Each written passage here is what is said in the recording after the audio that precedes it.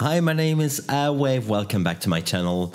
Uh, this is uh, some kind of reply video to Rishabh Rajan, who is uh, a good educator at Mac Pro Video and who's making YouTube videos himself regarding uh, Logic Pro, my favorite sequencer. I've been using Logic for um, 20 years now, thanks to Mike Push, my old, very old friend, and. Um, I got to learn all the uh, the tips and tricks. So um, Rishabh a month ago published uh, an interesting video regarding uh, MIDI effects on audio tracks into Logic Pro, giving a whole explanation about um, the use of environment and uh, stuff like that and I found it really interesting because there is a much simpler way, and I, I couldn't, I couldn't hold it, and I had to tell him there is there is much simpler, as you can see here, without the environment. And he was like, "Hey, please do share,"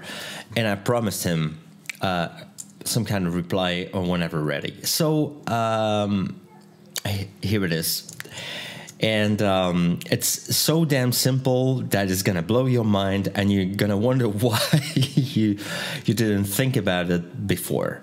So uh, let's take an audio track here for uh, as an example. It's just a, a, stock Apple loop, so we can uh, as you can hear something.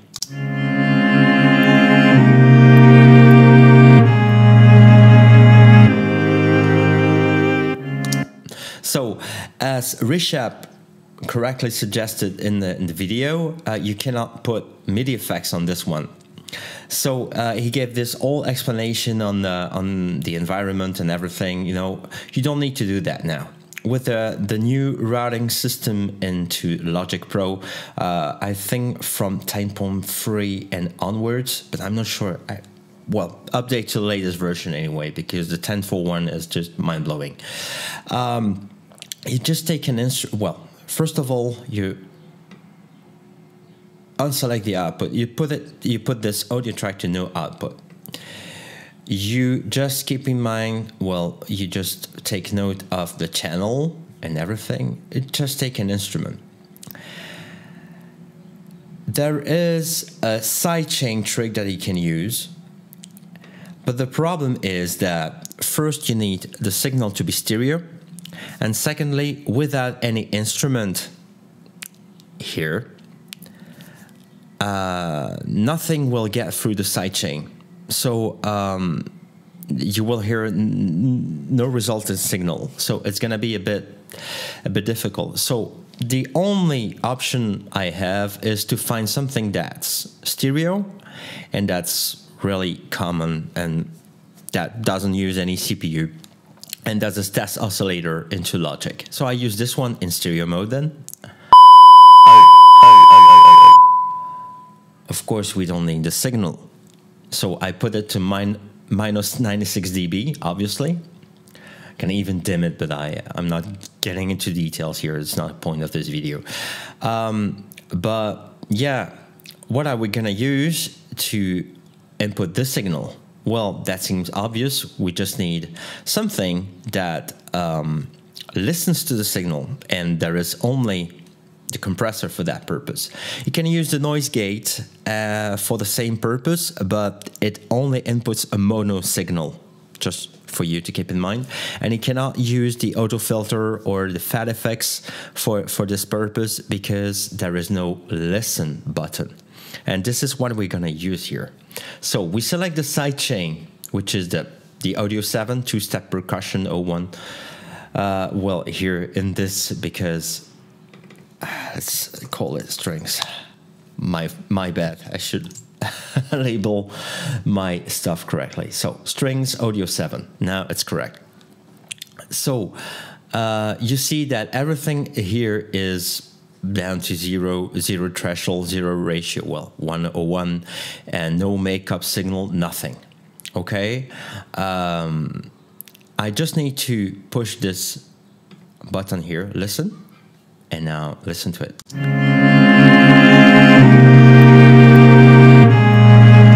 It's magical. So um, here I'm on the instrument, of course.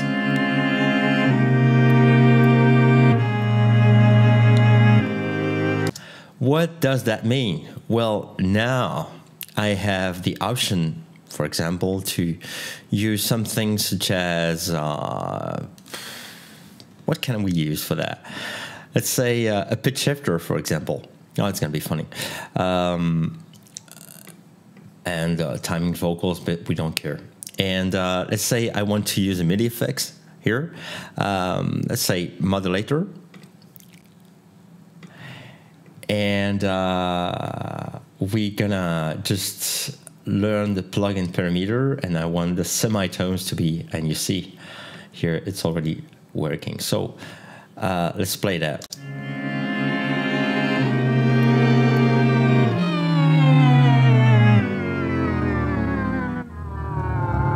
Of course, you get a scale effect because of the plugin here, and um, um, yeah, it seems obvious. So it doesn't work uh, really well with all the plugins. But what does it mean here? It also means that you, instead of a modulator, you can use the modifier. Let's say you want to use the mod wheel and reassign it to, for example, well, the semitones in this Look at this now. We're going to put the scale to 100%. So I'm going to play. And I'm to use my mod wheel.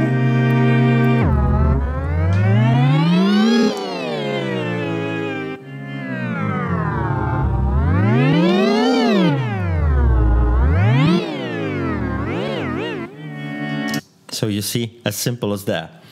So you put, you set your audio track to no output, create an instrument, um, with a test oscillator.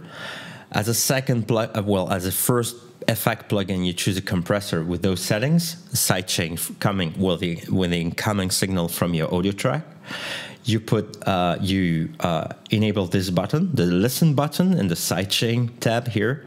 Uh, put everything else to zero, and uh, then you select your plugin and your MIDI effects, and you're good to go. This is as simple as that. And you can also record, for example, here with the modifier, you can also record uh, the stuff here with uh, your uh, Logic. Simple as that.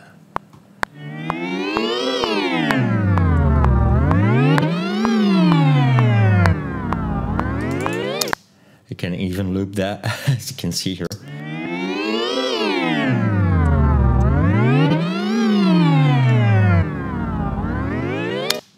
See, funny. Well, that's it for today. I hope that Rishab will be happy with this uh, video reply and uh, wish you a very nice day.